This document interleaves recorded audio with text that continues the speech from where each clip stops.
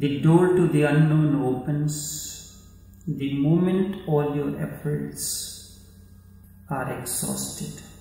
As long as you think that on your own you can attain to this, you are mistaken and you will never be able to attain. The moment your efforts exhaust, a different kind of ascendance begins, and in that very effort you attain. This is the reason that all paths and systems aim at exhausting your efforts you cannot attain through yoga or any system. Each system simply exhausts your effort and your ego. The effort means your ego. Until one exhausts all energy, journey does not complete. You the example. There are myriads of examples.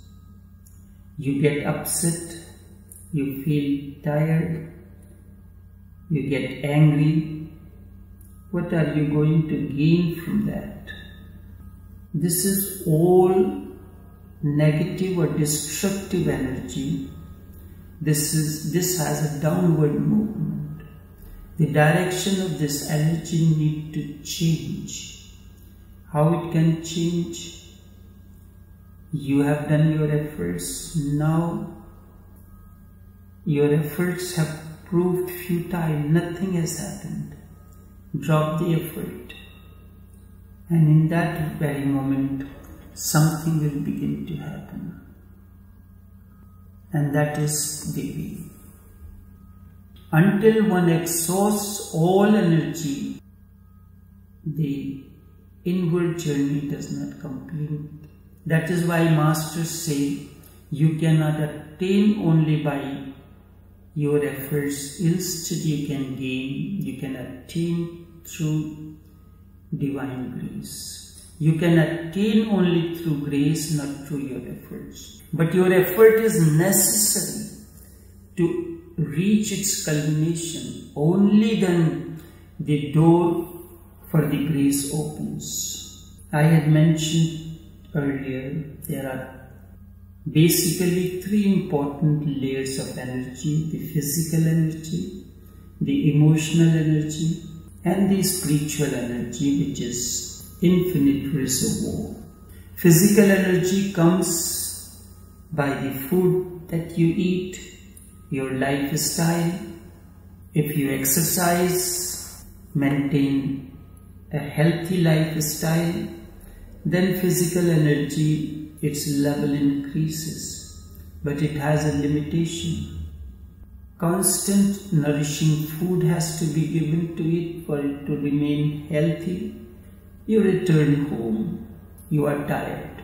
You take a cup of tea and go and take a sleep.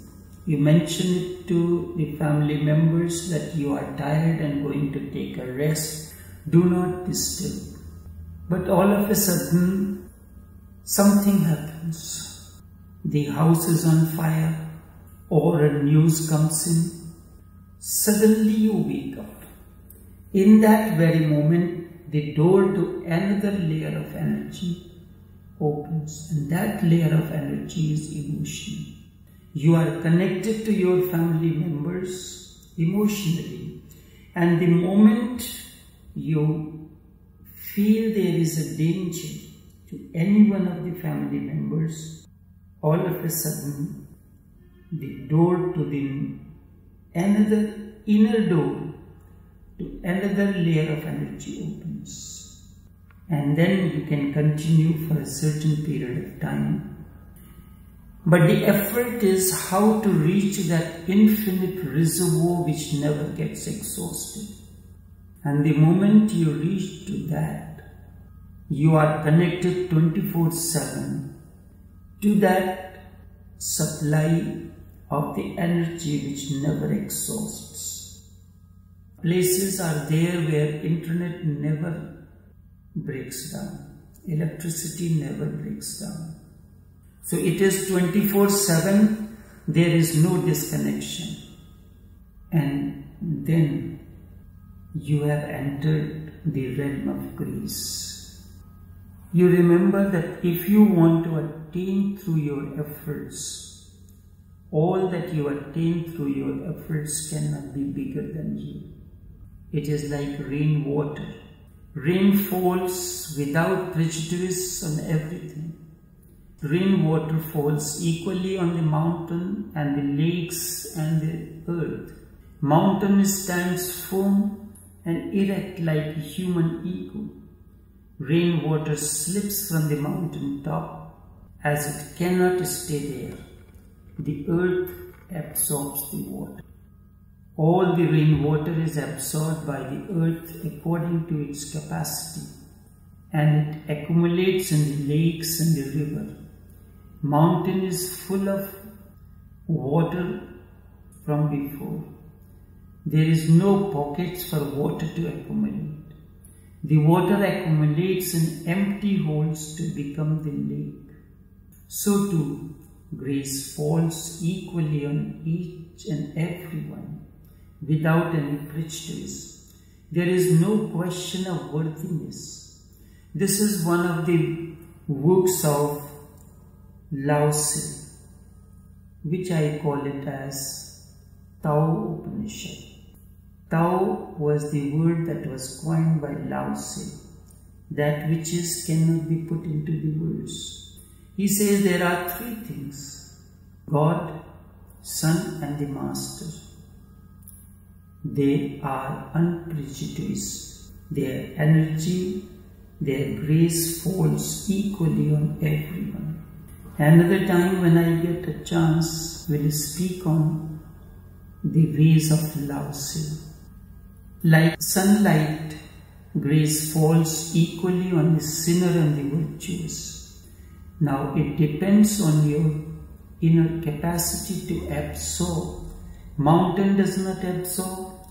Lakes hold certain amount of water. River are filled with more water during rainy season and earth absorbs according to its capacity. Everyone absorbs the grace according to his own capacity. Those who are locked within their own four, four walls and are full of ego remain deprived of this bounty of grace. All scriptures say there are 18,000 nether regions. However, each of this region is governed by one energy field, various layers of energy field. They are governed by different, governed in a different way. Behind all this vast spread, there is one thing hidden.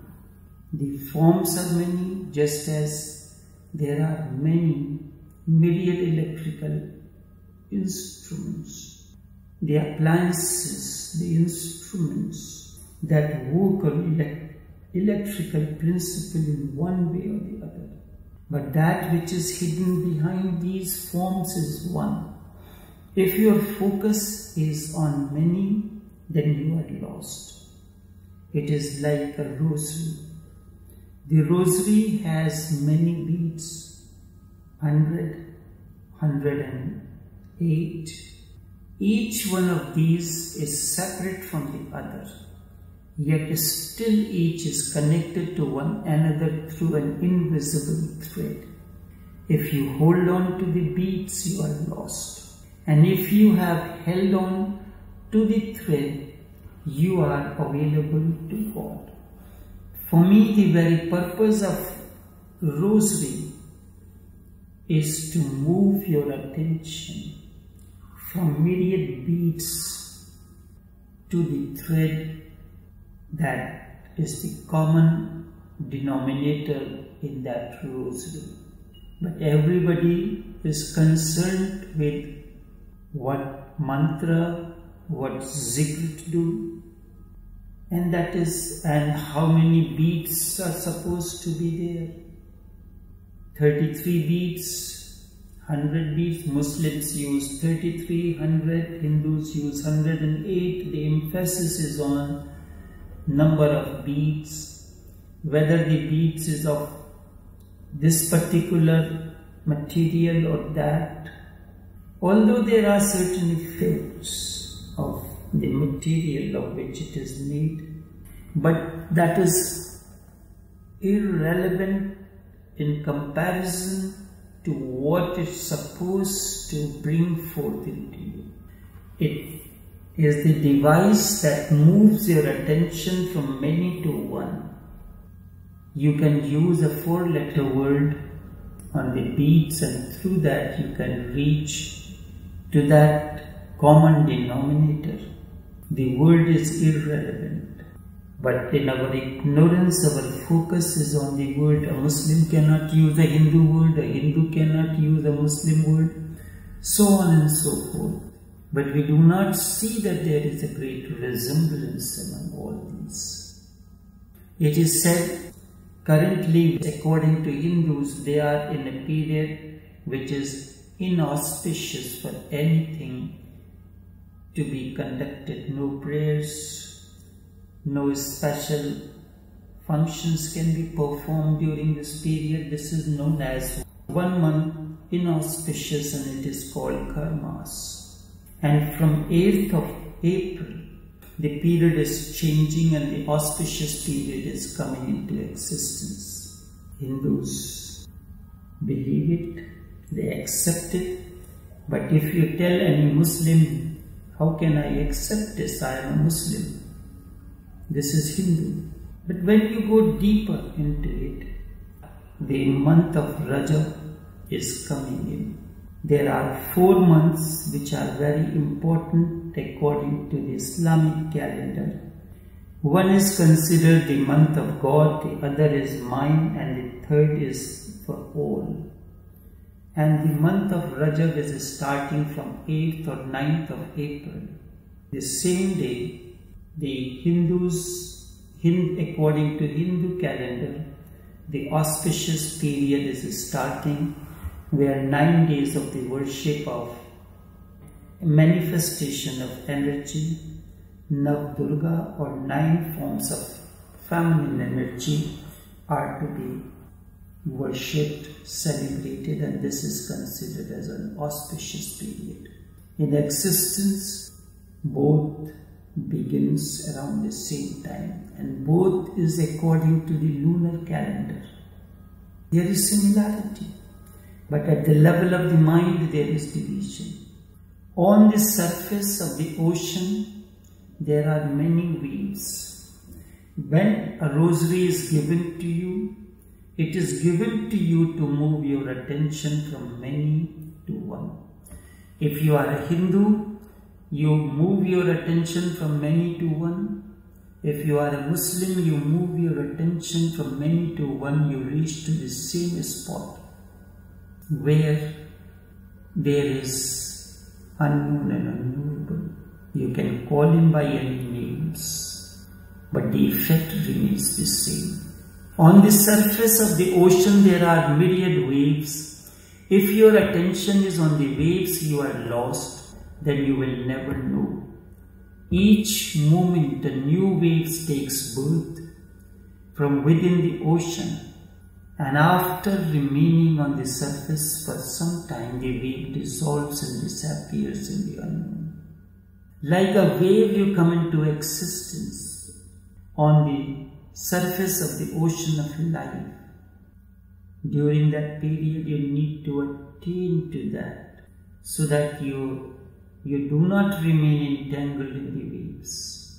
Instead, you start dissolving in the ocean and then after remaining on the surface of surface for some time the wave dissolves and disappears in the unknown.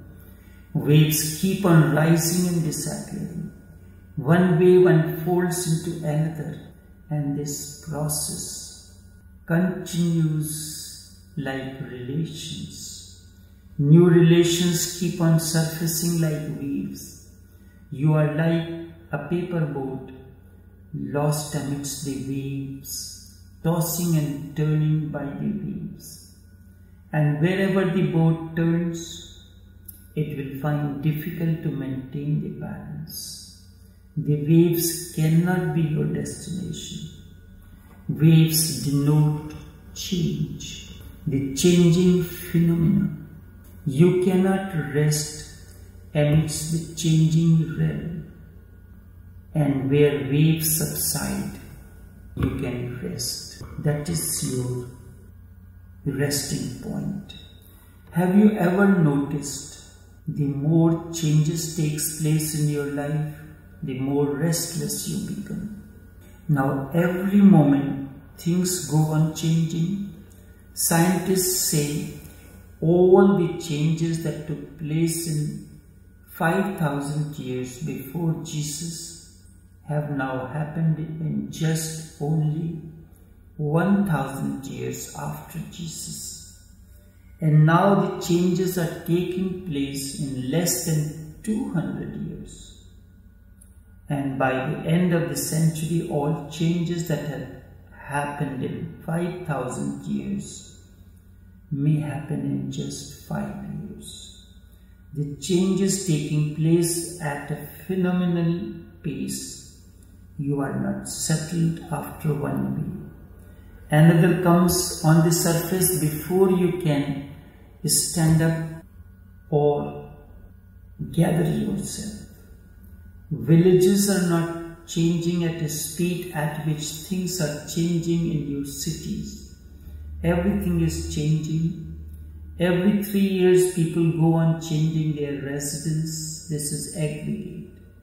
Some of these go on changing their residences jobs, cars, and now even wives and husbands so frequently that it is difficult to cope and keep the records.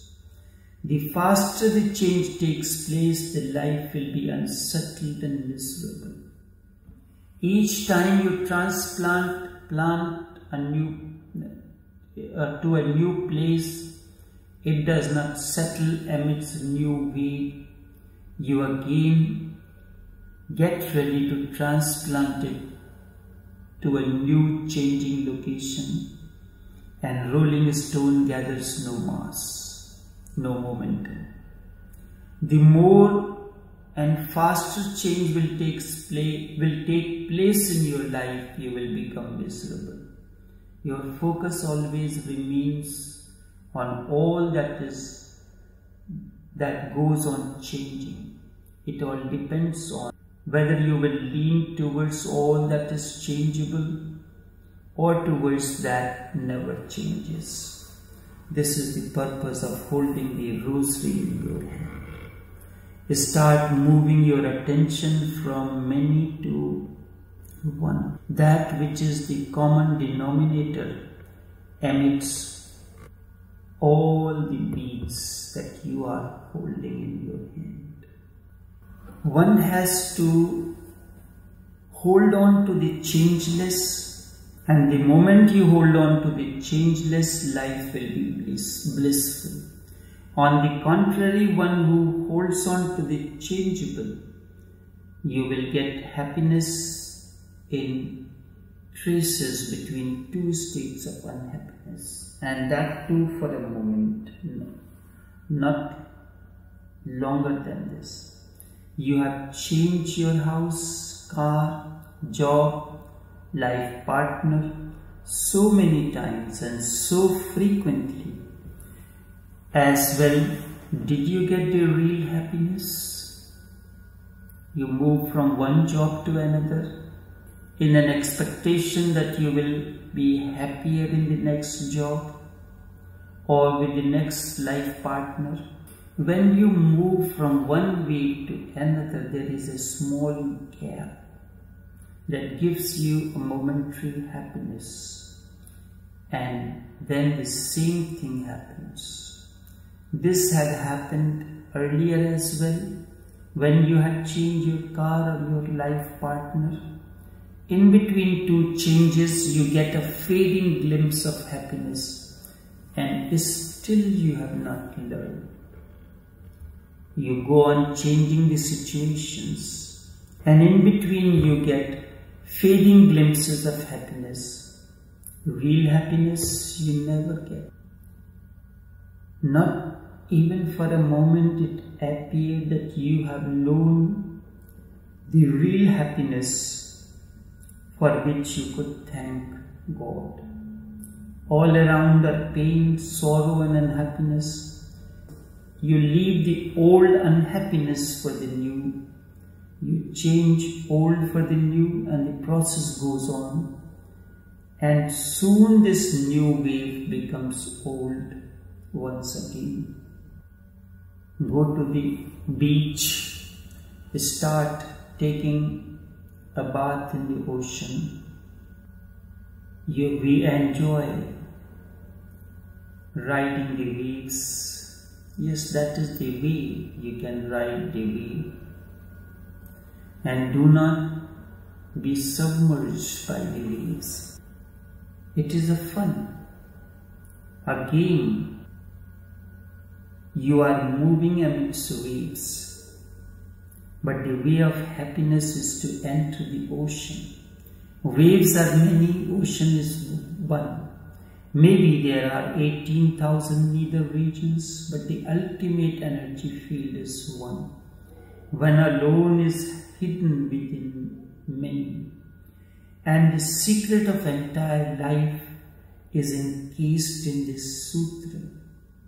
Seek this cosmic oneness Hold on to the thread hidden amidst the myriad beads.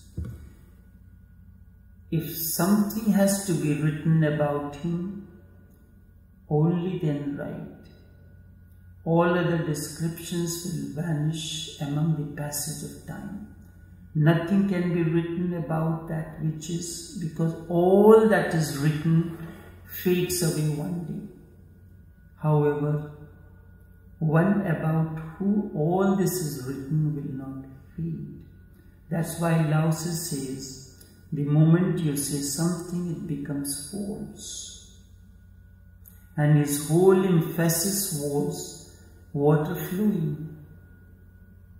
Water flows naturally and spontaneously. Learn the art of reading all that cannot be written. You have understood God. I have heard there were three mystics in the state of Maharashtra. There were three saints, Eknath, Nivrittinath, and Muktabai. Muktabai was the woman.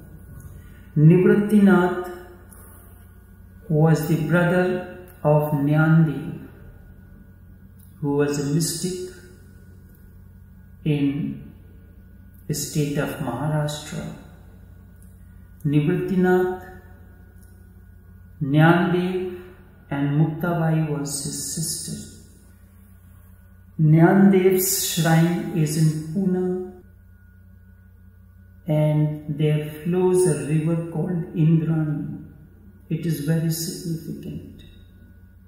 Another time, again many things I promise Nyandev went into silence on the bank of the river Indrayani. Then it was Muktabai, his sister, who brought him from that silence. So Eknath, Nivrittinath and Muktabai was living in the same state. Eknath sent a message through the messenger for Nivrittinath. The message was a blank piece of paper. This the messenger did not know who brought the message. On reaching, the messenger handed over the message which was folded and put in an envelope. Nivrittinath opened the envelope and unfolded the paper and read the message attentively. Then he handed over the message to Muktabai to read. She also enjoyed reading the message. Both enjoyed the message and then he folded back the paper and gave it to the messenger to carry it back for Eknath. All this surprised the messenger. When he first brought the paper as the message, he did not know that it was a blank piece of paper. Now he knows it. So he asks the riddle to be solved. When the message was a blank piece of paper, then how both of them Both of you have read it so attentively and joyfully. One thing is certain you have read something, and now this message you are sending it back. The messenger said, I will not carry this message unless and until you explain this riddle to me. Nivritti said, Eknath send a message. If one wants to know and read God, then one has to learn the art of reading the blank, between the gaps, between the lines, between the two words. And it is said if you want to know the meaning, you have to go between the lines. You have to read between the lines. It's a common phrase. The real music lies between the gaps, between the two notes. If one wants to know and read God, then one has to learn the art of reading the blank paper. This we have understood and we agreed with this message. Now as a confirmation I am sending it back to Eknath saying that whatsoever you say is my experience as well. It is said Buddha and Mahavir one lived in the same state called Bihar. Bihar is a very small state that is situated on the bank of river Ganges. It is horizon. It is a vertical settlement, not a very big state. And both Mahavir and Buddha were contemporary. It said they never met. And only once they stayed in the same guest house, and the disciples were intrigued that Buddha and Mahavir sat in front of one another and they did not speak. What is there for Buddha to tell Mahavir that Mahavir does not know? Or what does Mahavir knows which Buddha does not know? Both have reached to the same spot where there is oneness. Whether you reach with a 108 beads rosary or 100 bead rosary, whether through chanting your La ilaha illallah or Om Namah Shivaya, when you are attain, you reach to the same spot that it is the common denominator, the thread that is that holds on all the beads, 100, or 108. So both Mahavir and Buddha have reached to the same spot of oneness. What is there for them to tell? They have attained to that infinite silence beyond which there is nothing. Buddha does not need to say anything to him, or Mahavir does not have anything new to tell Buddha. Both of them can enjoy the silence. Two emptiness becoming one. Two emptiness merging into one another. But we being the mind is a noise. And in order to silence the mind, we have to talk and we do not even understand the etiquette of dialogue. It becomes like a fish market whenever you have a conference or things like that, everyone wants to exert their point, thinking that his point is the right one and that of the other is wrong. Nothing happens in that. All books and scriptures are written messages, and God is unwritten and unheard message. No word can explain Him. If you want to learn to read that which cannot be written, then you can read the scriptures, Vedas, Holy Quran, Bible, Guru Granth Sahib or whatsoever it is. The words are like beads and amidst all the beads there is one common thread. I have been speaking to you for years using the different examples, different words, different scriptures. But have you ever observed what is the aim of all this? Whether I speak on Nanak or Kabir or Lao Tse or Jesus or anyone, object is to connect you to your innerness, to you, to give you the taste of silence. And once your focus goes on that silence, you have attained. There are people who read only those passages which fit within their conditioned mind. When I go to a Hindu temple, they want me to speak within the Hindu perspective. In Gurdwara, they want me not to speak of anything else but Nanak and not even give the examples otherwise. Only the Guru Granth Sahib. How can these people attain? They are not these Sikhs that Nanak have known. When for the first time, many years ago, I spoke in Gurdwara on a particular topic, one of the ladies said, It is good now you should tie the turban. And ex meaning accept Sikh religion. This is what is the understanding of those people who hold on to the positions in these religious organizations. I pointed out to them one of the, the freedom fighters, well known. He comes from a Sikh community, Sardar Bhagat Singh, but he never had, never followed any insignia which are considered to be five symbols of Sikhs, keeping a long hair, keeping a sword, and other things. Wearing a metal kada, something like a bangle. He never used any of those symbols. But does it mean that he was a less devotee of Nanak? We have the focus on the outer symbols. The inner meaning is lost.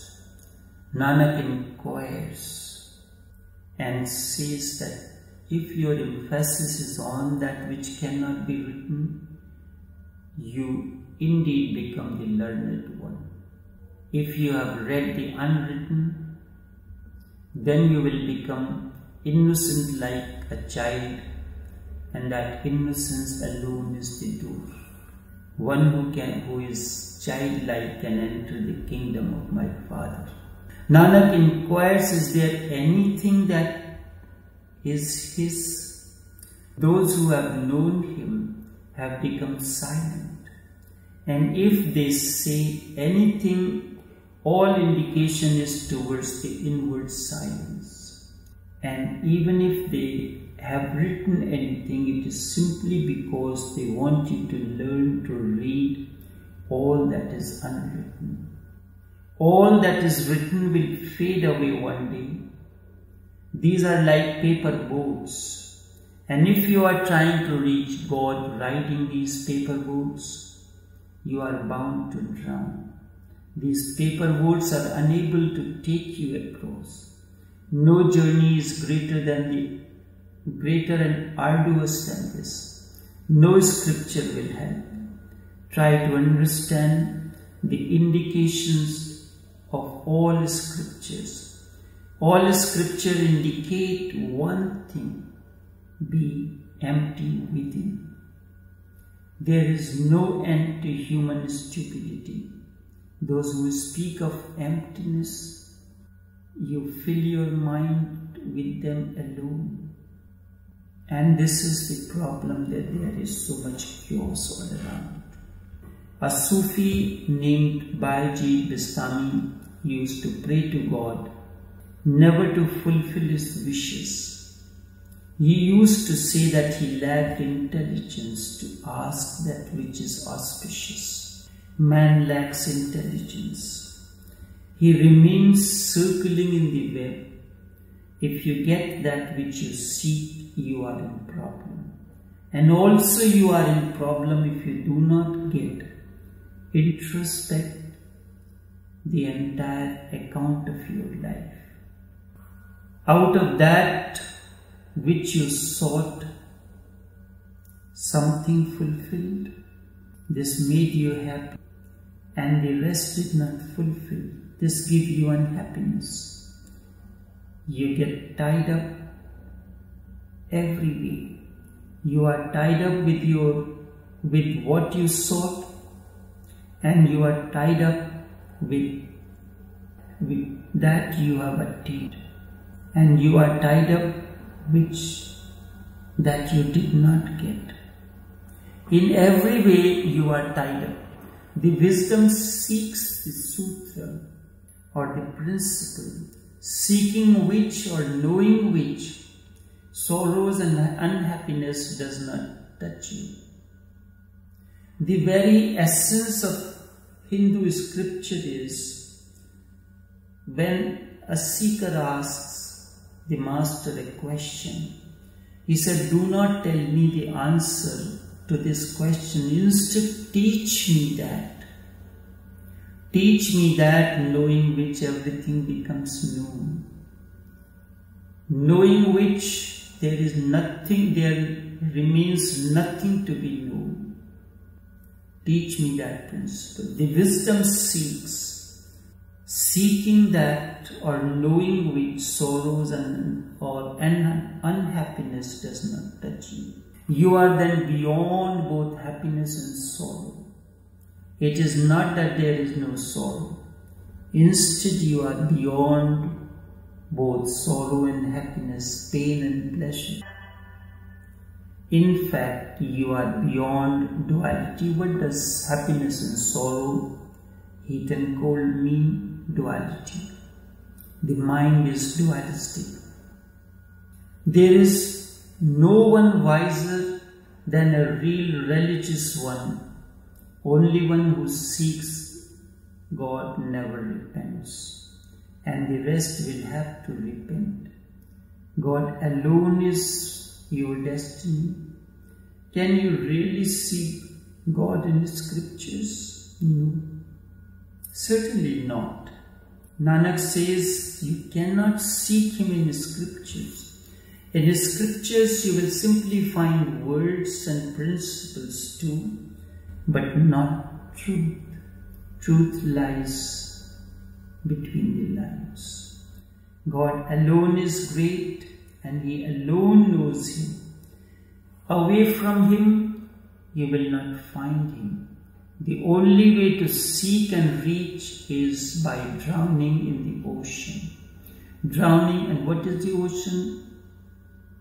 The ocean of silence, where there is no disturbance, where there is all oneness, where there is harmony you are drowning in that harmony, in that oneness that lies within you. And this cannot happen unless you are really thirsty. You will seek water only when you are really thirsty. And when you are not thirsty, the word water alone will do everything for you. And when you are really thirsty, the word water will not matter to you. Instead, the water that is existential, that can quench your thirst, will do. Lao Tzu says the word water, the moment a word is spoken, it becomes false. And that is the essence of Tao. That which is cannot be put into the words. The water that is existential, that can quench your thirst, cannot be put into the words. No word can encompass the water that has the capacity to quench your thirst. Without being one with God, you cannot know. You can gather information about matter. Science is the way. All scientific experiments and research are made from outside. This cannot apply to God. For that, you will have to go deep. You have to be ready to lose your boundaries. where your boundaries disappear, that alone is the way to enter the infinite realm. Where your boundaries disappear, boundaries of duality, boundaries of religion, caste, creed, all those boundaries, boundaries of any kind, disappear. That alone is the way to enter the infinite realm. You are the pulse of the cosmos, and the pulse of cosmos is your now. Such unity, such oneness, such dissolution is your knowing. How can this happen through scripture? How can this happen through words? Certainly this can happen through love. Love alone is the key. If you are enchanted by His love, music begins to echo within you. You are intoxicated by His love. Only then you will know. Mira lived in the present age, which is considered as the dark age. And there is no greater devotee, one who has understood the essence of that which is than Mira. In the scriptures, you will find logic and sutras. Certainly, the real you will miss. Neither you will know you nor you will know God. And you will not fulfill the criteria of knowing God that manar fanapsahu akfarabahu. To know God, you have to know yourself first. There is no other way to know God. If you want to know you, be one with God. And if you want to know God to be with you, only then wisdom dawns.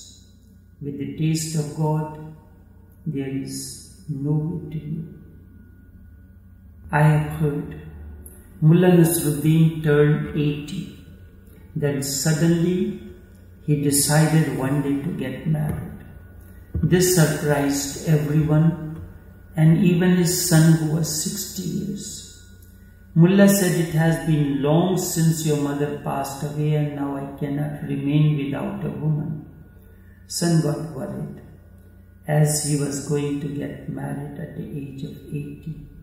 When Mullah insisted his son wanted to know who the girl is, Mullah pointed out to the neighbor's daughter, who was just 18. Hearing this, son began to laugh. So he asked if it was a joke or something else. At this, Mullah replied, What does it matter? When I married your mother, she was then 18 as well. What difference does it make 16 or 18? Certainly he forgot him about himself that he is 18. So to all logics that man seeks God or outside. You try to catch everything from outside. You forget that you have to go within. A priest is outside. Knowledge is a commodity that he seeks. A priest is wise. He remains outside. He keeps the outside records.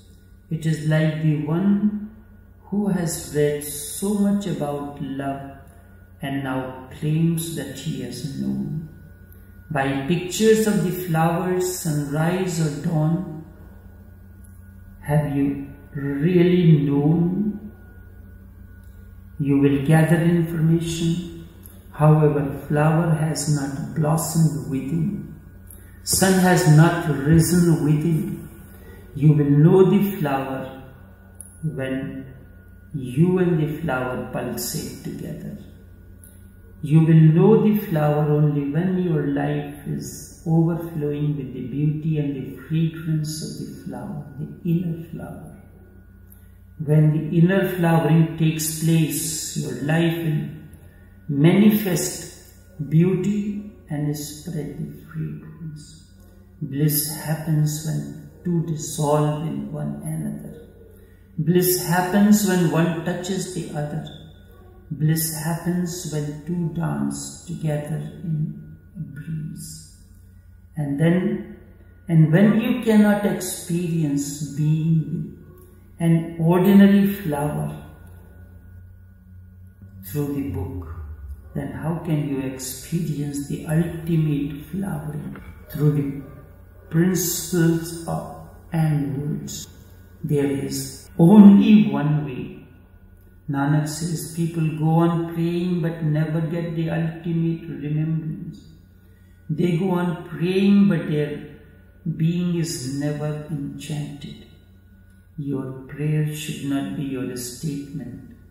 Instead, these need to be your listening. Never let your prayers be the statements. When you listen to a Christian priest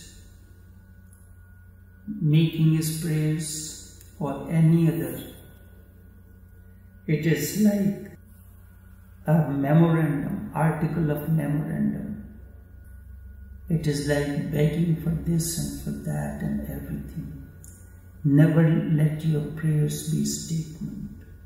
Instead, let your prayers be your listening. Instead of making a statement like prayer, if you listen to your own breathing. When you listen to your own breathing, you are prayerful. And you go on speaking so loudly that ecstatic Kabir had to inquire if your God is deaf. And when you learn to listen to your own breathing, you are prayerful and you grow into awareness. And that awareness, the word that Buddha used as awareness, Nanak and Kabir used as Surati.